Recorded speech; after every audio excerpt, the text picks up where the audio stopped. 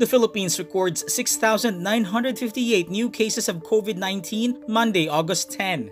This is the highest single-day increase in cases and brings the total to 136,638.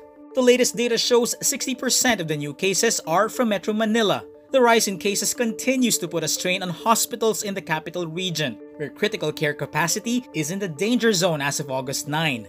Researchers from the University of the Philippines Octa Group estimate infections nationwide could reach 150,000 cases by the end of August, even with the reimposition of a modified general community quarantine or MECQ. Meantime, the pandemic's impact on the economy could lead to 1.5 million Filipinos becoming poor.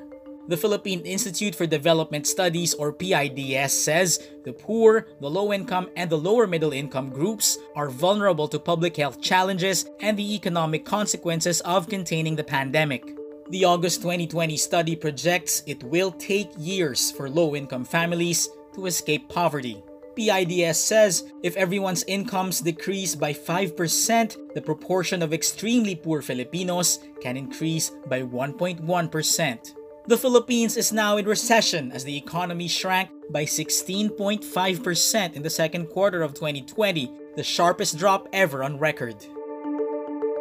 In related news, television host Willie Revillame barges into presidential spokesman Harry Roque's virtual press briefing on Friday, August 7 to talk about his charity efforts and even plug his GMA7 show. Before Roque's briefing ends, Revillame suddenly walks into the frame carrying a chair, which he then places beside Roque.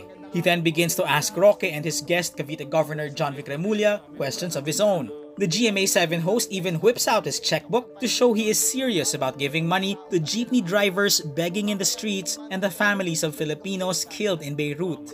Roque thanks Revillame for allowing the spokesman to use rooms in Wil Tower for his press briefings during the pandemic. Paplag ko lang, mamaya, mamaya naman, mamaya, PDB4, Channel 7 po, 5 to 6.30, tutok na kayo. Dahil 100,000 ang ibibigay ko sa Shopee Shake. Yan, salamat sa inyong sponsor. Longtime peasant leader and activist Randy Echanis is killed early morning Monday, August 10, inside his own home in Quezon City. Echanis, 72, was chair of party list Anakpawis and Deputy Secretary General of Kilusang Magbubukid ng Pilipinas or KMP. Former Anakpawis representative Ariel Casilao says Echanis was undergoing medical treatment and unarmed when police forces raided his house. Echanis is an agrarian reform advocate and helped craft the Genuine Agrarian Reform Bill. He also served as political consultant for the National Democratic Front of the Philippines or NDF. He is the third NDF political consultant to be killed after Sotero Llamas and Randy Malayao. Echanis is the latest activist killed under the Duterte administration. In April, Bayan Muna Iloilo coordinator Jory Porquia was killed inside his home. National Union of People's Lawyers President Edre Olalia, who is also the legal consultant of the NDF negotiating panel, links the killing to the contested anti-terror law.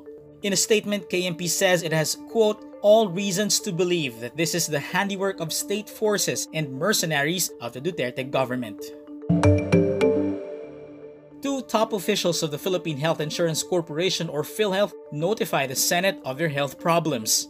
The officials say this may prevent them from physically attending the second hearing on alleged corruption in the state health insurer. The next Senate hearing on the PhilHealth controversy is set for Tuesday, August 11. PhilHealth President and CEO Ricardo Morales sent the Senate committee a medical certificate stating he is undergoing chemotherapy and his immunity is compromised. Executive Vice President and Chief Operating Officer Arnel de Jesus meantime cites an unforeseen medical emergency. Morales and De Jesus physically attended the Senate committee's first hearing on the corruption allegations on Tuesday, August 4. The hearing ran for 10 straight hours.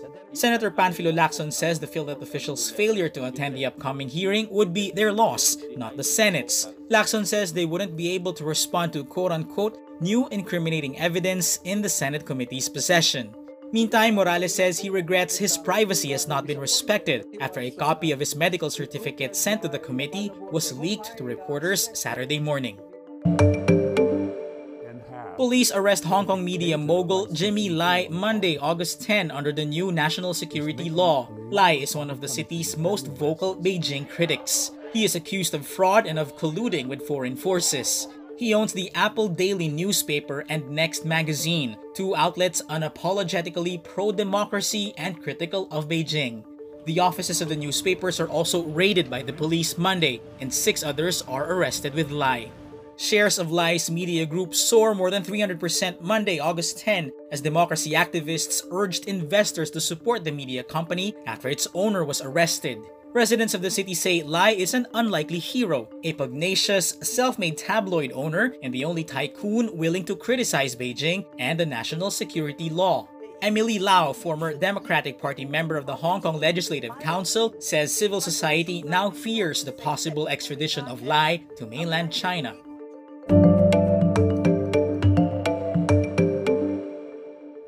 Photo circulating online shows a crater formed in the wake of the Beirut explosions. This claim is false. The photo is of the Tianjin explosions in China in 2015. On August 5, Facebook page Astro Child posted a photo of a huge crater with a caption, Pray for Lebanon. It was posted with three other photos of destroyed buildings and fires.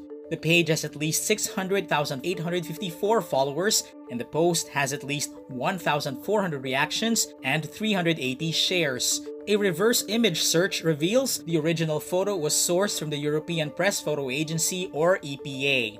The original caption by the EPA reads, An aerial view of a large hole in the ground in the aftermath of a huge explosion that rocked the port city of Tianjin, China, 15 August 2015. In 2015, explosions occurred at the hazardous goods storage facility in the Chinese port of Tianjin, killing at least 165 people. It was used in articles on the chemical blast by The Independent and the BBC. This claim was also fact-checked by News Mobile on August 7.